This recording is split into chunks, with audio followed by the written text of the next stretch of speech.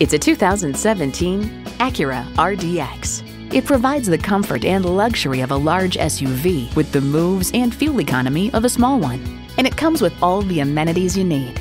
Streaming audio, power heated mirrors, front heated leather sports seats, auto dimming rear view mirror, doors and push button start proximity key, dual zone climate control, V6 engine, power sliding and tilting sunroof, gas pressurized shocks, and automatic transmission.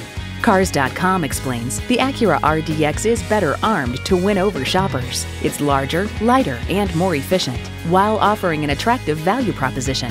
Acura believes if there's a better way, take it. If you've been waiting for the perfect time for a test drive, the time is now. Experience it today.